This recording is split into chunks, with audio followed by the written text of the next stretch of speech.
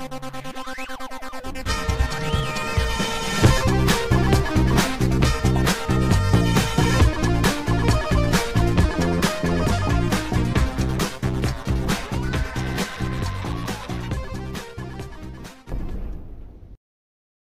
guys, welcome back. This is Matt Chat, episode 382, featuring part three of my interview with the fantastic Bob Clardy. In this part of the interview, we talk about his games of War in Middle Earth. Uh, we talk about Thexder. We talk about Spirit of Spirit of Excalibur. Uh, what it was like working with uh, Jack Tramiel and Ken Williams of Sierra. Uh, we also talk about the uh, great video game Crash and much, much more. There's just a lot of really good stuff in this episode. I know you guys will enjoy it. So, without further ado, here is Mr. Bob Clardy. Hadn't thought about a lot of this stuff in a while, and I hadn't read the the uh, CR, CRPG Addict in ages. I got to go back and look at that again. It's very he's very detailed. I mean, he, he definitely uh, plays the games thoroughly. Yeah, yeah, yeah. I, I I love his work. I Yeah, I saw you had actually commented on a few of his. I, uh, I did on several of those Dungeon Wilderness and maybe Odyssey, but I don't I haven't looked at it since those comments. That was quite some time back. I don't remember when that was. Several years ago, at least. Well, let's move forward a little bit. I want to get into this. You've already mentioned sort of this transition to Sierra. Mhm. Uh, and then you'd also sent me another note about Jungle Hunt. Yeah, Jungle Hunt was a good story. Well, Yeah, was that connected at all to the Sierra stuff, or is this a totally different story? totally different story, and it's what started us um, down the path of becoming a developer as opposed to a publisher. Um, the uh, you want me to dive in? You ready to go? Yeah, let's back up. So, where does this Jungle Hunt story start? Where? Um, 1982. Okay. 1982. Okay, at, at uh, we had sometime in there. I think it was, I think I mentioned it was like around 1980 that I did my first Atari 800 game, and at that point, uh, and we did a few other uh, um, games on other systems in those days. But I realized that I wasn't known in the industry as an Atari publisher, and so I wasn't selling them very well. So I was looking for publishers to partner with that that covered other computers, somebody with a bigger name than us. So, um, in the early days of our business, when we went to uh, game developer conferences and um, uh, the West Coast Computer Fair was the first one I went to, but then there was the Computer Game Developers Conference and some others. When we went to those, we had a booth where we would expect customers to come by and see us.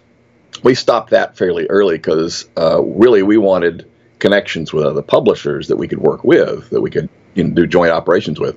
So uh, in the later shows that we went to, we would visit their booths. And it was in, uh, I think it was in 82 that I visited Atari's booth and learned that they were starting a new division called Atari Soft. Right. Now, before then, Atari had two sides there was the coin op side, and there was the VCS side, the, the game machine side. And they, they were doing cartridge games for the uh, Atari VCS and Atari 2600 and whatever else was around in those days. And they were doing huge numbers. Um, I had a friend I knew in college, uh, a guy named Warren Robinett that worked there Oh yeah, the adventure guy. the adventure guy. Warren was uh he was my tutor. Easter, my- egg guy. he was the first guy. Yeah, and I and I didn't realize I didn't hear about the Easter egg until later. If I had known about that Easter egg and why he did it, I, I might have had a little more been a little bit more leery about Atari because apparently the reason he put it put the Easter egg in the game was that you were not allowed if you worked for Atari you were not allowed to have your name on anything. It was Atari was the only name that counted. So Warren Robinett's name did not show up in that game unless you stumbled upon his Easter egg. So, but I didn't know that at the time. I just knew, hey, I had a buddy that works there, and his game sold a million copies, and you know, gee, that was you know salivating. You know, you just, whoa, that's great. I got to work with these guys. So I was uh, interested in in doing something with them. We went, and what they were doing at this time in '82 was uh, they've been doing extremely well in the video game business, and uh, they wanted to expand all the home computers. So they were hiring developers to do to port their games to a bunch of different systems.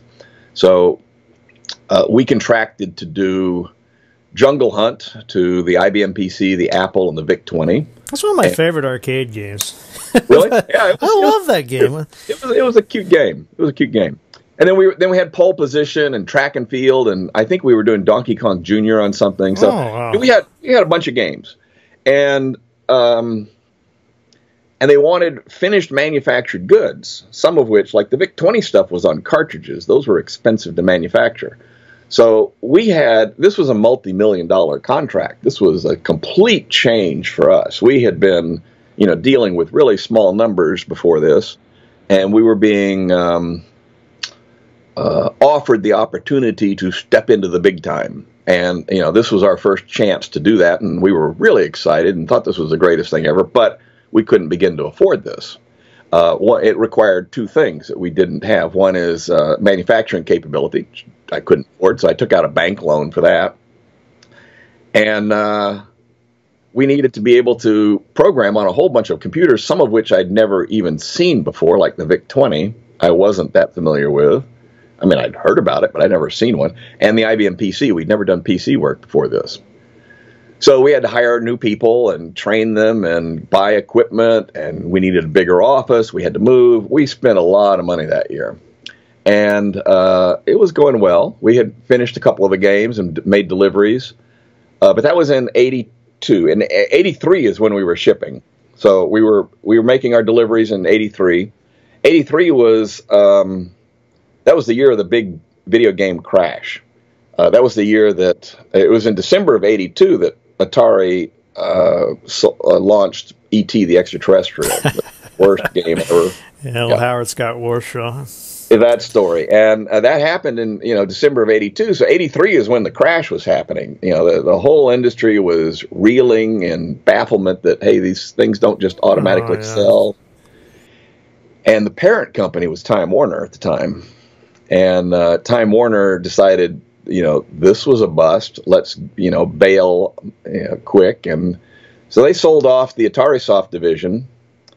Um, and Jack Tramiel was the guy. Jack Tramiel was a, an executive at Commodore who uh, bought Atari at that time, and or bought Atari Soft anyway. I, I guess he had a lot of Atari because he he was he did the Atari ST stuff later.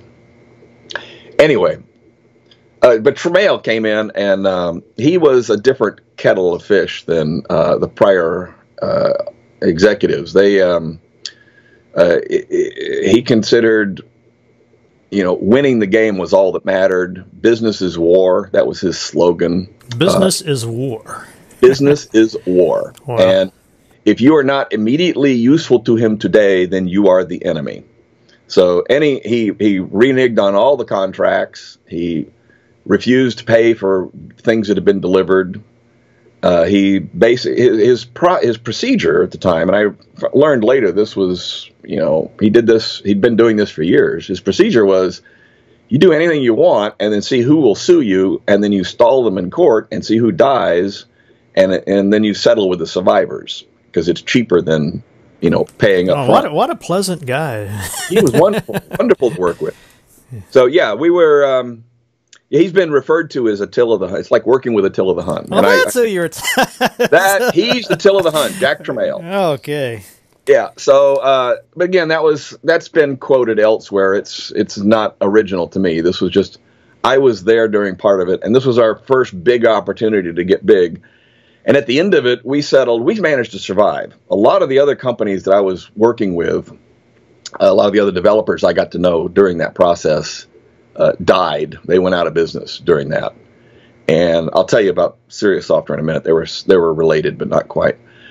But anyway, we survived. We survived. We settled. We got a, a, tiny fraction of what we had been expecting, but we got enough to pay back the bank loan. And we, had been taking loans from um, uh, key employees as well, uh, shorting people on paychecks. We worked out agreements. If you you know you'd get more back if you can stall six months. And so anybody that could afford to wait gave. We had a really close knit office, and they all chipped in. And um, so we had a settlement large enough to pay back everybody but us. Um, wow. My wife and myself, we took a year of no pay and, and managed to just barely, barely survive that year. This must so, have been especially uh, devastating, given that you were anticipating a huge windfall, right? Yes, and it and, and, and that wasn't the worst problem, really. I mean that that was uh, that was a huge problem, but the worst problem was it had completely changed the nature of our business. We had been a self-publisher before that, and now we were a contract developer. I'd hired people, I'd bought equipment, I had new friends. We'd all gone through this this ordeal together. You know, I could not let these people go just because we were getting screwed. So um, we had to hurry and go out and find new contracts because I needed a completely different business model at this point, and it changed everything. Uh, it, it, had its good sides, and there was a lot of a lot of good games after that. But I never got to write my games anymore because now I had this this uh, organization that I had to support, and uh, I did completely different kind of work. I was out hustling contracts and negotiating, you know, with with other publishers, and they came and went so fast in those days. There were so many that we worked with that didn't survive, and it was uh, it was a chaotic time period. I mentioned briefly uh, Sirius Software. That was a Sirius Software was another publisher that um, we worked fairly intimately with. Jerry Jewell is still around. You, mm. I don't know if you've interviewed him yet. No, not yet. He's a good candidate. Talk to Jerry. He's fun. Uh, but but he employed uh, uh, Nasir Gebelli, and they they were in '82. They were doing extremely well. We almost merged with them, but both of us were. We were doing our deal with Atari, and they were doing a similar deal with 20th Century Fox. And the, both of us thought this was the deal that was going to break us, you know, into the big time. And so we decided to put off any talks about mergers until we saw the deals worked out. And they both blew up in our faces. So the same same same thing happened to Sirius Software. 20th Century Fox stiffed them on deliveries, and but they went out of business. So 83 was the end of that company. That's too so. bad. I, I could I could see the title now. This Sirius Synergy. yeah, yeah, I like it. It does yeah. sound. That, that sounds good, doesn't it? It does. I, that is. It's, it's really. I mean, you must have just. I can't even imagine the, the how much how gloomy this must have been, and and depressing. And then uh, it, it, was a rough time. It was a rough time. We had a. Did you work for Sierra after? When did this? Uh... Uh, yeah, shortly after that. Um, we uh, I don't know how much time we have to. There's two, two, two of the big stories between uh, Sierra and uh, and Atari, but you know, I, we could just jump straight to Sierra because that's a long enough story itself. How much time do you want to take? however long. I don't have any time limits okay, before we get to Sierra, there's there's the intervening years. There was uh, a lot of other publishers that we worked with, some of which worked out pretty nicely. Uh, Mastertronic was a was a big oh, publisher. Oh, yeah, Mastertronic. Yeah, I got some. And there's some stories there that are worth worthwhile. And it all kind of the gaming side of it all ended with Sierra. So that was the final story. And it was a complicated story too. But there's so a lot. we can save that for for the end. Okay. Well, so the intervening years were, uh, you know, we're suddenly scrambling to find publishers. Initially, um, I went to the, you know, the the uh, consumer electronics shows, the the uh, all, all of the game shows, all of the shows for uh, software developers and publishers. Met as many people as I could, and I put pretty much just took anything I can get. And so we did jobs with companies that I can't even remember the names of nowadays, but uh, did a lot of lot of quickie jobs. Uh, we were our group was um, very fast, so we could do ports. We had a lot of in-house tools that we had developed to make ports work faster. We had a good art staff that could say, okay, we this machine has a 256 color palette, and the machine we're going to has a uh, some you know something different. We know how to deal with that, and they would crank out stuff very quickly.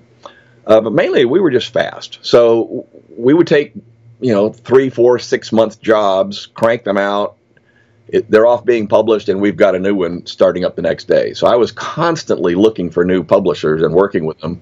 And some worked, you know, some would lead to sequels. Some, you know, were one shots that died quickly and uh, were as quickly forgotten. Uh, Mastertronic was one that came along fairly early in that process, and we started doing more and more work for them. We almost became part of the Mastertronic empire. They were collecting companies too. Um, Sierra did this later, but uh, Mastertronic was doing it at the time I met them. They were buying. Uh, they were originally a, a, a, British company, And in England, they had a whole bunch of labels. They felt that uh, as a publisher, they could get more shelf space if they looked like six publishers. so that was their theory. And some of these were, you know, cheapo, you know, known for, you know, ten dollar games, and others were fifty dollar games, and so they wanted to keep those labels separate. So they had separate labels for everything, and they pretended they were many companies. You know, it make it makes sense. It does, it does, and they were good at it. But they did consider it was my first uh, awareness of um, of a company that considered developers to be disposable commodities. Hmm. That you know, you went and bought another one, you used it. If this label became contaminated, you just flushed all those people and get, got a different group. So it was uh, something I ran into repeatedly, and it was, it, it, was part of what led to the chaos in the industry that uh, there wasn't a lot of long-term security for some of these companies. They they sprang up, they had their moment in the sun, and they were gone two years later, and it was just uh, it was uh, kind of baffling, kind of scary, kind of it was just chaotic. It, it was just chaotic. But um, the nice thing about working with uh, Mastertronic was they would tend to go get uh, licenses. They would do their first version in Europe on, on really cheap machines, you know, uh, like the ZX. And... ZX, that was the one I was trying to remember. Yeah, you know these these little these cheap machines that were you know expecting to have cheap software, and so they had you know fairly budget games that really wouldn't sell well in the United States, particularly not on the IBM PC or the Macintosh. Some of the nicer the the Amiga, these nicer and more expensive systems are expecting much better games. So when Mastertronic did some games like the the first one we did uh, that, that comes to mind, we've done several games by then, but the first big one was uh, War in Middle Earth. Uh, when they got that license, they did a really crappy game in Europe. I it, was ported to the Commodore 64. They brought that over to the United States, tried to sell it. It sold very poorly, and then they hired us to do some ports. And we convinced them that ports would be devastating. That you know you put that on on a more expensive system and it's just going to die.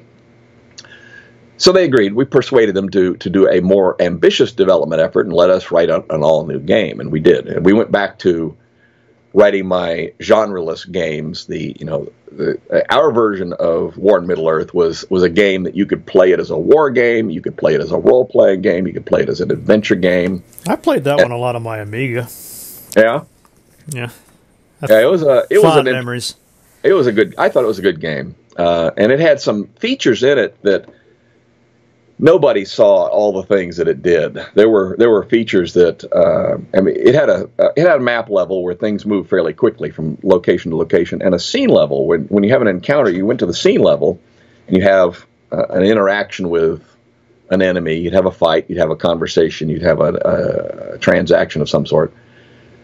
But the thing that people didn't really know is that uh, every pixel on the map would generate a unique scene that was suitable for that location on the map. So if there were mountains nearby, you'd see mountains in the background. And if you were in the woods, you'd see trees. And we would build a scene based on that location. Well, you could stay in the scene level if you wanted and just walk off the edge of the scene and it would go to the next pixel on the map. And you could walk across all of Middle Earth and it would be as boring a game as um, as living that adventure real time would have been. So, so, that was in there. Well, Tolkien himself would go on for two chapters, right, with the same sort of scenery description.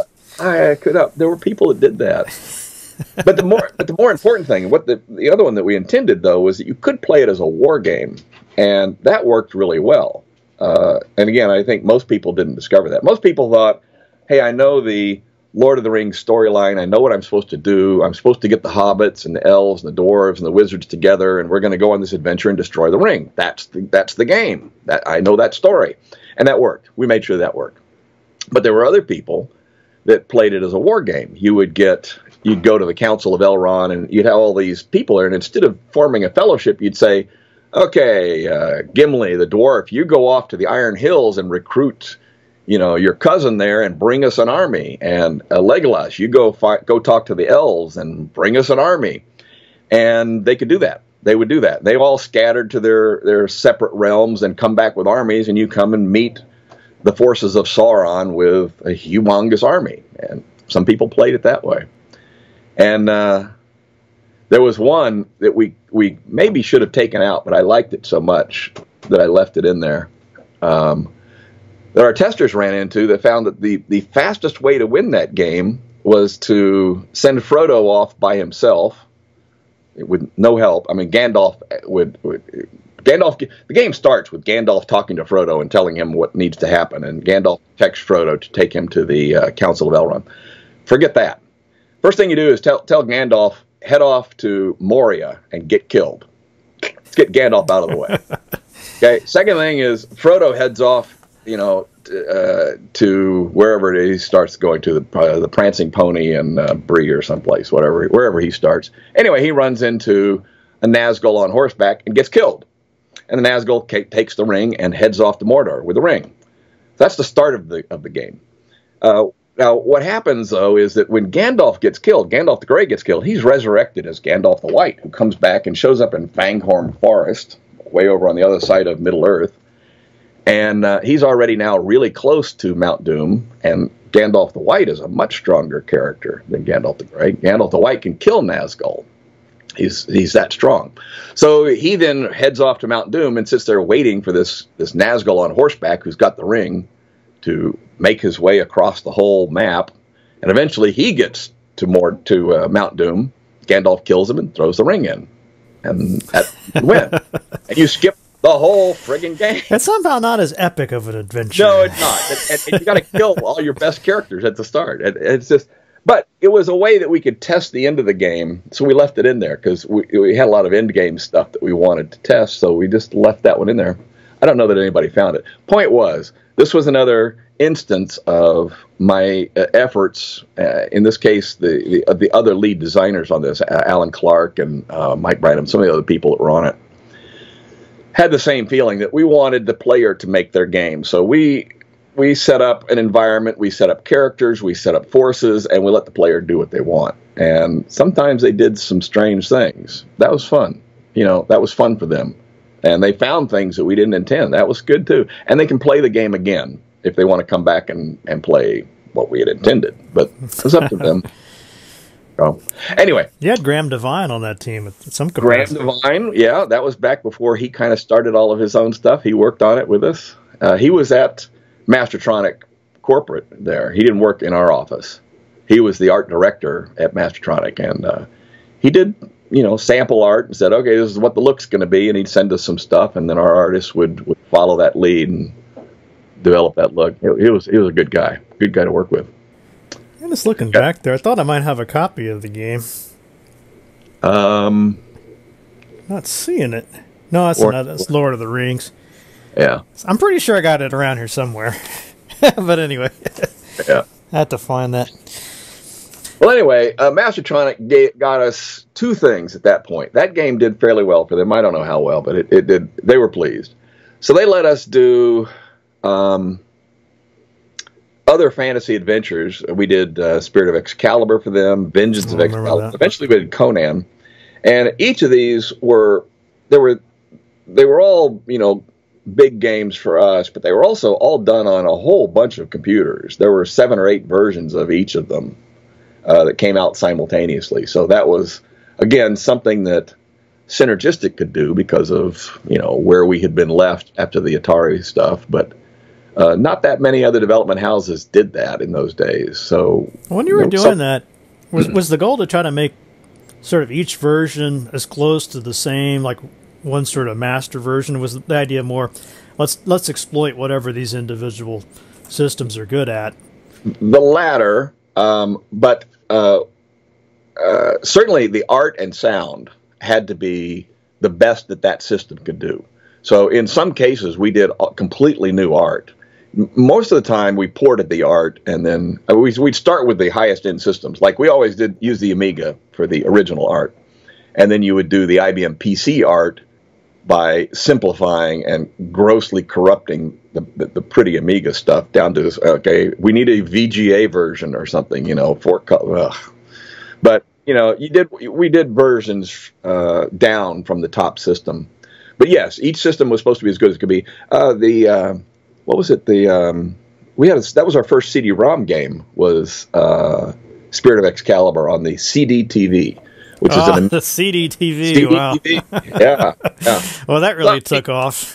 you know, it, you know, it, it, was a really cool system. I wish it had, but so we had, uh, you know, we were doing voice work on that one, and uh, it was it was definitely optimized for that one system. No other system could do all, those things. So, yeah.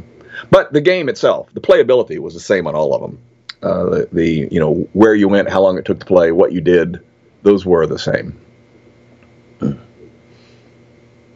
So that was uh, Mastertronic. Uh, the, I think the last game, well, we did Conan with them, and there was a sequel to Conan. I think it was called Heroes of Legend, which really sucked. Uh, it, that was the last game. Uh, I just what was so sucky about it? Uh, it was a decent game, but um, it wasn't. It didn't have the mythos and the the history of Conan. For instance, it was meant to be a sequel to Conan, but um, but we didn't have a Conan character. We didn't have a so it was more generic and more puzzle based. The uh, uh, the scene level was you know you'd wander around and have to figure out how to get through a city by you know getting up onto the walls and you'd navigate that maze and then you'd get into the buildings and navigate that maze. And it ended up being a, a little bit tedious as a as adventure games go I think because we had it was way too puzzle oriented. I, I, wanted a puzzle game. It, it, it, but but it was being sold to adventure game enthusiasts. That Uh-oh. was you know not the right market. So it was just it, it just wasn't the right game anyway that was about that was our roughly I believe that was the last game we did with Mastertronic. At the same time, we were doing some games with Sierra Online. I think that's when we did Thexder. Oh yeah, that's uh, one of my favorites, Thexder. Love Thexder. Great game. Had a lot of fun with Thexder. So, what's the story about Thexder? Um, Thexder was uh, a Japanese game that was very well designed. There was this um, a robot that could turn into a small tank, or I think, and uh, it, basically it's a transformer type game. But again, it was a puzzle game. Uh, you you were going through a side scroller uh, tile map like a Mario Brothers type map, shooting out bricks and and working your way through. You have to find which bricks could be shot, and then drive through them to get to a new area and uh, deal with all the all the flying attackers that were in the area. Very hard Point game. Is, pardon? it's very difficult. I don't think I ever got very far into it, but yeah, I like. I, I really liked it it, it, had it had intricate puzzles. It was a puzzle game. And I could, it, I could hear the music even arcade now. game puzzle game. So anyway, we did we did a, a port uh, of this original game to I think to the PC. Yeah, it was PC and Apple GS. I think I wrote that one myself. I played uh, it on the Amiga. Yeah, it was on it was on several different systems. But anyway, it did well enough that Ken wanted to do um, an original version. I mean, a, a sequel, Thexder '95, which came out in 95 for the Windows 95 operating system, which was just being released at that time. He wanted a game that would come out on the new computer. And so we did a, a, newer, bigger, you know, more complicated puzzles. We had I won't go I won't go into it, but it was a fun game to work on. I, I think I wrote the level editor for that one and built a lot of the levels, but I didn't actually write any of the game code on that one. So anyway, that was uh so as as Mastertronic was kind of winding up in our, you know, as our our lead publisher, Sierra was kind of spooling up, and um, we were doing more and more stuff with Sierra. We've been doing. We had another group in our office that, that had been doing sports simulations forever. Um, did sports simulations for Electronic Arts, and I don't remember all the companies, five or six of them, Sony and um, I think Time Warner. Yeah. Uh, but anyway, so we started doing uh, sports simulations for Sierra along with uh, Thexder. So we were, we had two divisions working with Sierra, and this was when Ken started his hey, let's build Sierra up into something big enough to sell, and time period, which again I didn't realize was happening, but I did realize they were get, they were becoming a bigger, stronger publisher. Uh, Ken was very good at uh, getting venture money and not being uh, sucked under you know, a lot of a lot of the people in our in our industry would get venture money and then be destroyed a year later. They didn't uh, to produce proper returns, or they'd completely lose control of their company and have it taken over by people that didn't know the game industry. And uh, a lot of people that went that route didn't didn't survive. Ken was good at it and survived. So he he had money, and they were building up um, building themselves up as a publisher that um, uh, that could publish multiple, you know, multiple lines of products from different developers. So they began collecting development houses, Papyrus and Sublogic and Impressions and Us and Knowledge Adventure, and uh, eventually Blizzard got involved, and uh, there was a whole bunch of them. And uh, it was it was getting bigger and bigger, and then, but to me, I didn't care about too much of that. Other than what I cared about was uh, it was really easy to sell the jobs because I saw Ken Williams a fair amount. We were the of all the other uh, these other uh, developers, we were the closest uh, to where he lived. So I visited him often. He visited our offices, and we talked a lot. And he was a good guy to work with, pleasant person. He, he, was my kind of person. He was a he was a gamer. He was a programmer. He was a businessman third but he was just so much better at the business side of it than I was. So that was great. That's what I wanted. I didn't want the business side of it. So I mm-hmm. wanted to partner up with somebody who would do that part, and he was willing. So um, this was just a, a, good time for us. Um, but so we had an opportunity. What I didn't realize until later was that some of these companies that they were they were taking on, that they were joining with, uh, they were buying out at fairly, you know, good payments. Uh, we just kind of joined. Um, we had some stock options and a small amount of cash, and I said, okay, based on that, I will commit to only writing for Sierra. And we weren't really bought, we were, but we were we were owned regardless.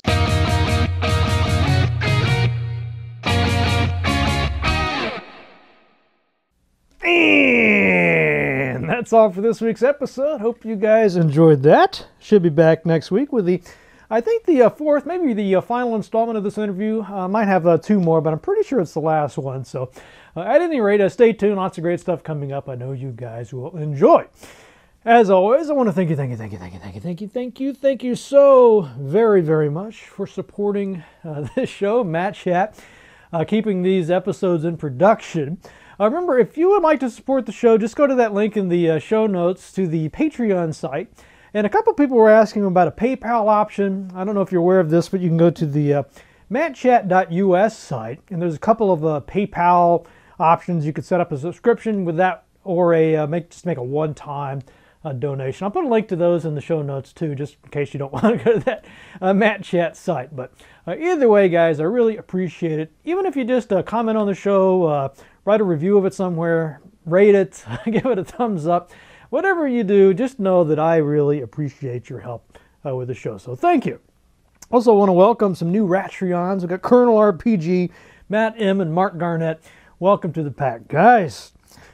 All right, what about that news from the Matt Cave?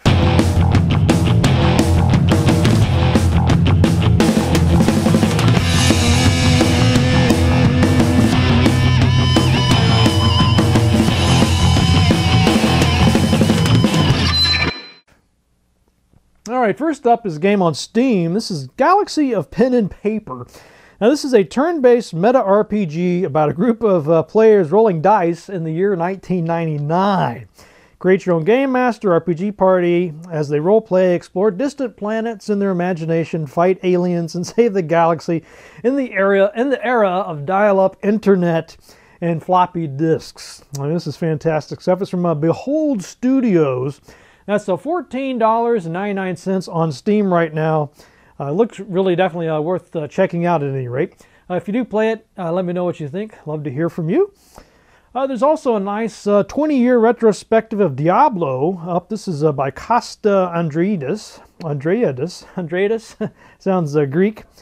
it's a nice beefy article. Lots of quotes in there from developers and producers and all basically people that were involved somehow in the franchise. So uh, go check that out if you're up for some reading. And then Stig wrote in about this. This is a Cascade Quest, an adventure of Cascadian proportions. Imagine that. Uh, in the spirit of classic graphic adventure games, Cascade Quest sends the player on a epic adventure through forests, mountains, and mysterious lairs on a mission of escape and retribution. Old school adventure game interface complete with a text parser. Hell yeah and EGA graphics. And that's uh, coming out in early 2018 for PC as well as the Mac. So Uh, thank you, uh, Stig, for sending that in. All right, what about that ale of the week? uh, well, this week I something caught my eye. I was over at World Market in um, in the uh, Twin Cities area, and I found this uh, Stone's Original Ginger over in the L section. Now, this is a uh, product from the UK, I believe. Uh, Guildford, UK. oh, there we go. Accolade Wines Limited out of Guildford, UK. It's 13.5% uh, by volume. Let's see. Stone's Original Ginger. Grape, grape wine with sugar beet neutral spirits, natural ginger flavor, and caramel color. I'm really excited about that caramel color. uh, let's see. Uh, contains sulfites. I guess, uh, what the hell's a sulfite? I don't know. Uh, to preserve freshness and taste, refrigerate after opening. Done. And let's see, product of England. So not a lot else here on the bottle. Anyway, I love ginger. Not sure what I'll think about this, but we, you know, why not? You gotta give it a shot, right? So let's uh, get this Stone's Original Ginger open and see what it's all about. All right, so I got some of this Stone's Original Ginger here in this really rather fantastic drinking horn. Mm. oh yeah, okay, let me try that again. Oh, I think I singed, singed some of my nose hairs on this. I feel kind of lightheaded just from sniffing this. It's got a, a definite, uh, shall we say, uh, aromatic quality to it. You smell the ginger in there, sure enough. Uh, kind of a lemony, citrusy smell.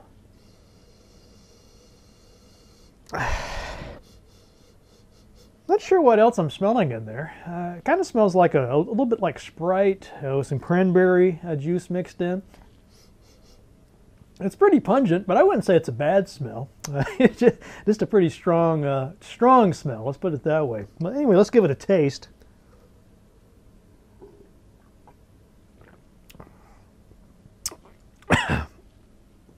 Oh, damn. Uh.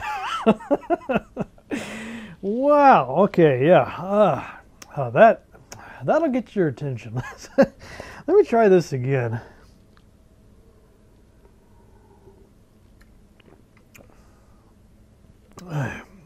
Yeah, this is, uh, you know, uh, what can I say? I don't know what kind of person would really enjoy this. It's uh, just kind of sweet and bitter.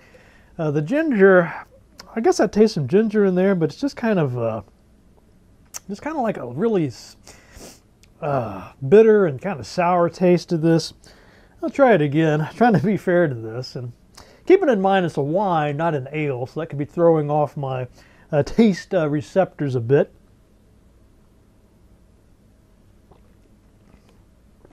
Oh, yeah. Uh, definitely not my cup of ale, shall we say. Um, you know, you definitely taste the ginger in there. It's kind of a, it's not a real spicy ginger, not a hot ginger. It's just kind of really a sweet, and then you get some kind of bitter flavors, a little bit of the, uh, I guess you taste the uh, the wine, the grape flavor. Uh, the ginger kind of comes in on the back end. You know, to be honest with you, this tastes sort of like medicine your grandmother might have given you if you had a bad cold or something. Uh, yuck. you know, I, I, guess there might be people out there that love this stuff, but I'm definitely not one of them. I'm going to have to go a zero out of five drinking horns on this Stone's Original Ginger. You know, again, uh, tastes vary and everything, but uh, I definitely would not recommend this to, to any of my friends. or maybe I would. Uh, anyway, we'll go zero out of five on this you know, it's not horrible. You could probably drink this, but I mean, man, there's so many more uh, pleasant beverages out there to, to choose from. So, anyway, zero for the Stones Original Ginger. All right, what about the uh, the quote? Uh, so I was looking for quotes about independence and being independent and all this sort of stuff, and I found one from the uh, businessman Thomas J. Watson uh, that I, I really like. This, I think you will too. Go something like this: Follow the path of the unsafe, independent thinker. Expose your ideas to the danger of controversy. Speak your mind and fear less the label of crackpot than the stigma of conformity. I love that. See you guys next week.